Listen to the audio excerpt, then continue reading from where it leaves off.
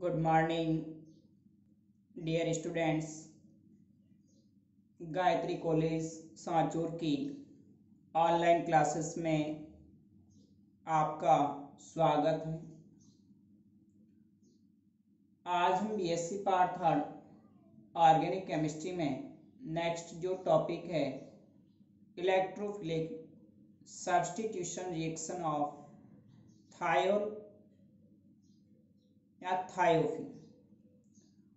Thiol या thiophene उसकी electron संयुक्त प्रतिस्थापन अभिक्रियाएँ हैं। उसके बारे में डिस्कस करेंगे। इससे पहले लेक्चर में हमने थायोल या थायोफिन के प्रिपरेशन की बात की थी। इसके जो बनाने की विधियाँ हैं, किस प्रकार से थायोफिन का संश्लेषण किया जाता है, जिसमें पालनोर सिंथेसिस है, नॉर्मल ब्यूटेन से एसिटिलिन से फ्यूरिक एसिड से वन थ्री ब्यूटाडाइन से इस पर डिस्कस किया था।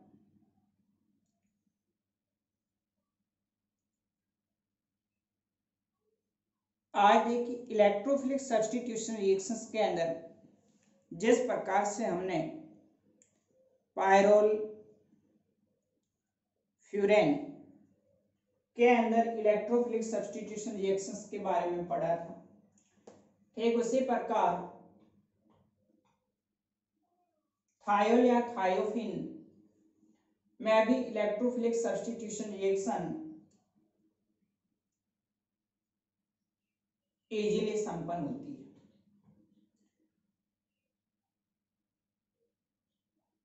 क्योंकि वाले के अंदर कार्बन परमाणु पर हाई इलेक्ट्रॉन डेंसिटी जो पाई इलेक्ट्रॉन होते हैं डिलोकलाइजेशन के through easily electrophilic substitution reactions दर्शाते हैं। थायोफिन सबसे ज़्यादा एरोमेटिक लेकिन थोड़ी इसकी जो रिएक्टिविटी होती है पायरल और से कम होती है। सबसे अधिक रिएक्टिव पायरल होता है, उससे कम फ्यूरेन होता है और उससे कम थायोफिन होता है। एक नंबर का अगर एग्ज़ाम में सवाल पूछा जाए पार्ट के अंदर फाइव मेंबर जो हेट्रोसाइक्लिक कंपाउंड है, उसमें इलेक्ट्रोफिलिक सब्सटीट्यूशन जो रिएक्शन है, उसके प्रति रिएक्टिविटी का ऑर्डर क्या होगा, जिसमें पायरोल फ्यूरेन थायोफिन है। तो सबसे ज़्यादा रिएक्टिव पायरोल होता है, उससे कम फ्यूरेन और सबसे कम थायोफिन अब यहाँ पर जो इलेक्ट्रोफिलिक सब्सटीट्यूशन रिएक्शंस है, जिस प्रकार से हमने पायरोल और फ्यूरेन में पढ़ा, ठीक उसी प्रकार इसमें भी आने वाला इलेक्ट्रोफाइल C2 या C5 पोजीशन पर अटैक करता है।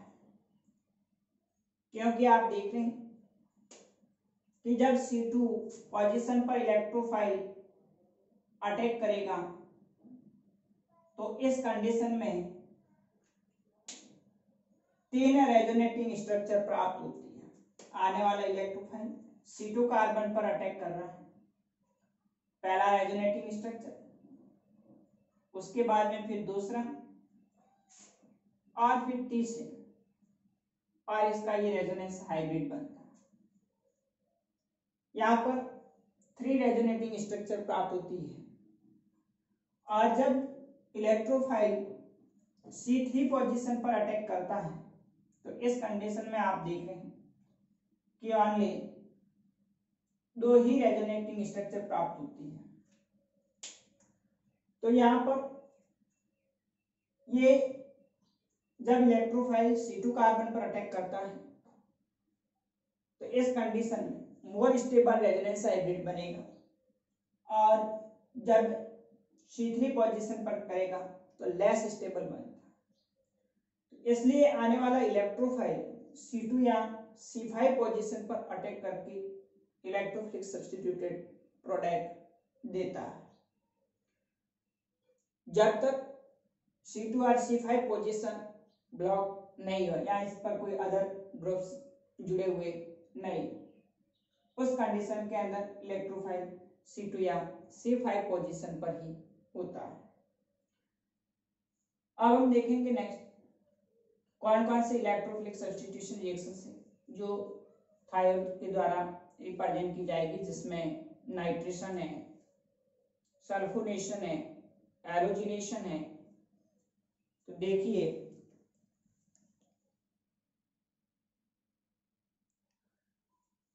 नाइट्रिकरण के अंदर जब थायोफेन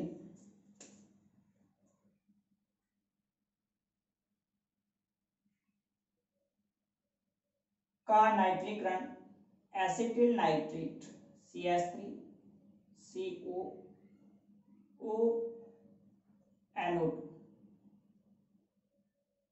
acetyl nitrate के साथ एसिटिक एनहाइड्राइड की उपस्थिति में करवाते हैं तो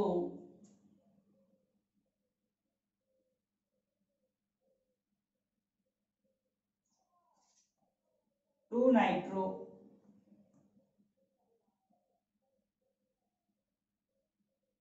थायोल बनता है।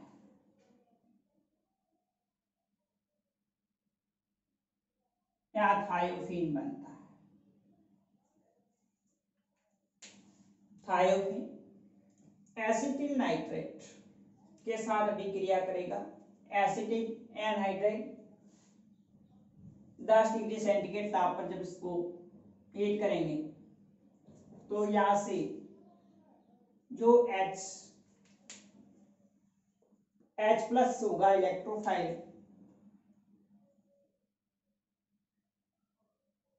C S three C के साथ में जुड़ करके एसिटिक एसिड मॉलिक्यूल के रूप में रिमूव हो जाएगा और आने वाला जो NO2 प्लस है वो C2 कार्बन के साथ में जुड़ करके टू नाइट्रोथायोल या थायोफिन बनाता है। नेक्स्ट देखिए दूसरे सल्फोनेशन सल्फोनीकरण जब थायोल या थायोफिन का।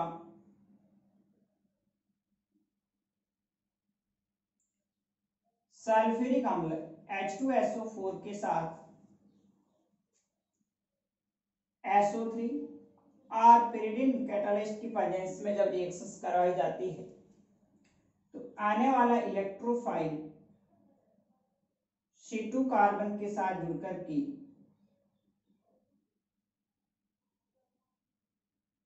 थायोफिन टू सल्फोनिक अम्ल बनता। सल्फोनेशन के अंदर सल्फ्यूरिक अम्ल के साथ में थायोफिन की भी क्रिया करवाते हैं।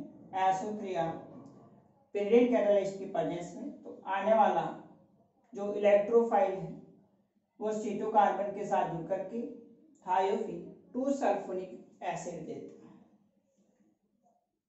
नेक्स्ट देखिए अगले। एलोजिनेशन एलोजनीकरण अभिक्रिया जिसमें क्लोरिनेशन है ब्रोविनेशन है और आयोडीनेशन है। नेक्स्ट देखिए एलोजिनेशन के अंदर सबसे पहले है क्लोरिनेशन क्लोरिनीकरण जब थायोफिन की विक्रिया क्लोरीन के साथ माइनस थर्टी डिग्री सेंटीग्रेड ताप पर करवाते हैं तो भिन्न भिन्न इलेक्ट्रोफिलिक सब्सटीट्यूटेड प्रोडक्ट प्राप्त होते हैं, जिसमें one chlorothiophene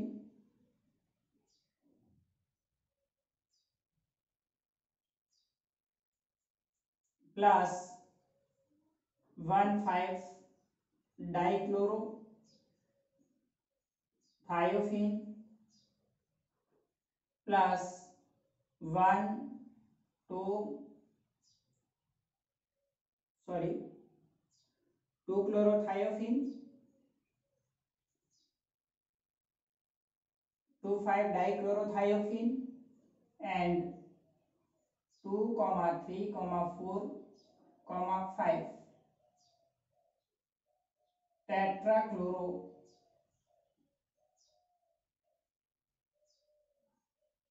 thiophene. यानी क्लोरिनेशन के अंदर जो थायोफिन होता है माइनस थर्टी डिग्री सेंटीग्रेड ताप पर, बिन बिन सब्सटीट्यूटेड प्रोडक्ट जिसमें two chlorothiophene plus two five dichlorothiophene plus two three four five tetrachlorothiophene इन विभिन्न जो क्लोरो सब्सटीट्यूटेड है, उनका मिश्रण प्राप्त होता है।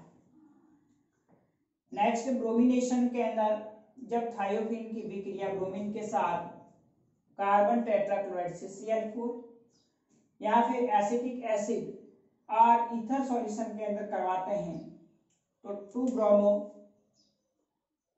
थायोफिन बनता है।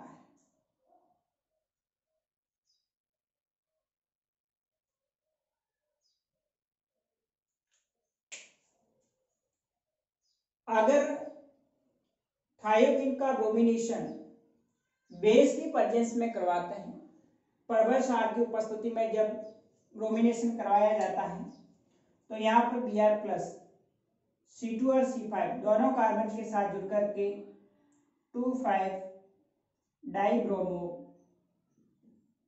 थायोफिन बनता है। आने वाला बी आर प्लस इसके एनओएच की प्रेजेंस में, सी टू पर और फाइव कार्बन पर अटैक करेगा। और तीसरा यदि थायोफिन का ब्रोमिनेशन एन ब्रोमोसक्सिनामाइड की उपस्थिति में करवाते हैं एनबीएस जो होता है, एन ब्रोमोसक्सिनामाइड। तो यहाँ से बी आर प्लस आने वाला जो इलेक्ट्रोफाइल है, वो सी टू कार्बन के साथ में जुड़कर के टू ब्रोमो थायोफिन बनाता है।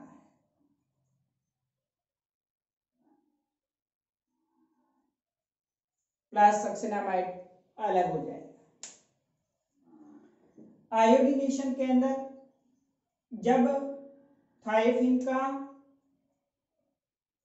मार्गेरिक ऑक्साइड की उपस्थिति में आयोडीन के साथ विक्रिया करवाते हैं तो आने वाला आई प्लस जो इलेक्ट्रोफाइल है। वो सी टू कार्बन के साथ में जुड़कर की टू आयोडो थायोफिन देता इस प्रकार से एलोजिनेशन के अंदर क्लोरिनेशन रोमिनेशन और आयोडिनेशन से भिन्न भिन्न इलेक्ट्रोफिलिक सब्सटीट्यूटेड प्रोडक्ट प्राप्त होते हैं। अब नेक्स्ट अगली अभिक्रिया है फ्रेडल क्राफ्ट रिएक्शन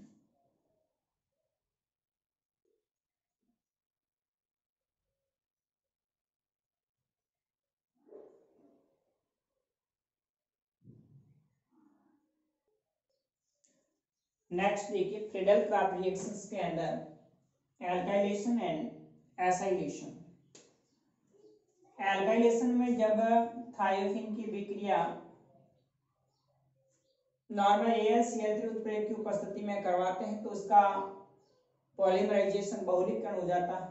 इसलिए थायोफिन प्रोपीन के साथ में बी थ्री या फिर H three P O four boron trifluoride या फॉस्फोरिक अम्ल की उपस्थिति में।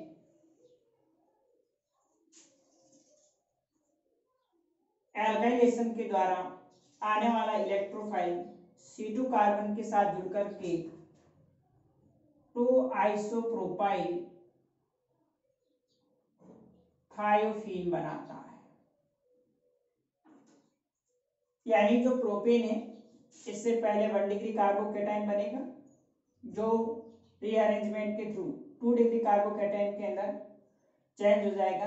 फिर ये intermediate electrophile C two carbon के साथ में जुड़कर के टू आइसो प्रोपाइल थायोफिन देता है। एसाइलेशन में जब थायोफिन की विक्रिया एसिटिक एनहाइड्रेट के साथ एस थ्री पी की उपस्थिति में करवाते हैं तो आने वाला electrophile C O C S three plus C two carbon के साथ जुड़ करके टू एसिटाइल थायोफिन बनाता है।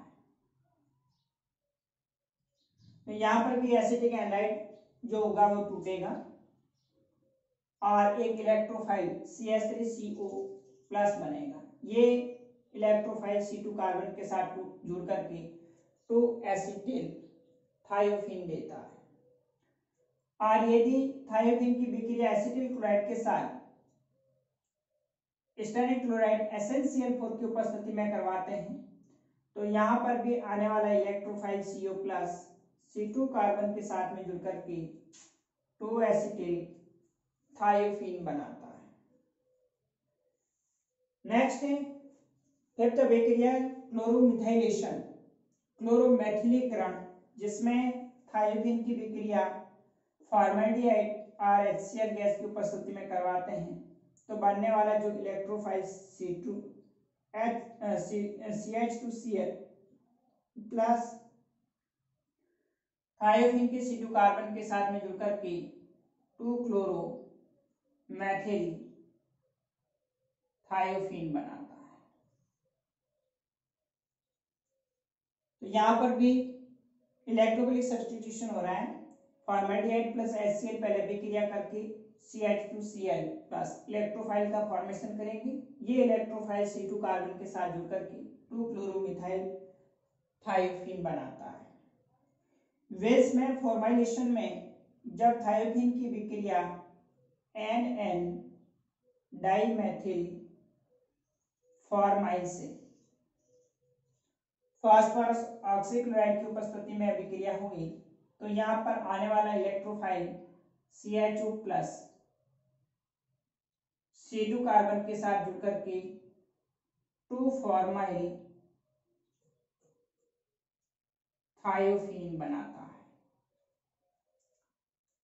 इस प्रकार से फ्रेडल क्राफ्ट रिएक्शन क्लोरोमिथाइलेशन और विल्समैर फॉर्माइलेशन जिसके अंदर आने वाला इलेक्ट्रोफाइल टू कार्बन के साथ जुड़ करके भिन्न भिन्न इलेक्ट्रोफिलिक सब्सटीट्यूटेड प्रोडक्ट देते हैं। अब हम नेक्स्ट जो इसकी अगली इलेक्ट्रोफिलिक सब्सटीट्यूशन रिएक्शन मार्क्यूलेशन है मैनिच रिएक्शन है डाइजेनियम सॉल्ट और रिडक्शन इसको नेक्स्ट अगले वीडियोज़ में डिस्कस करेंगे। Okay thank you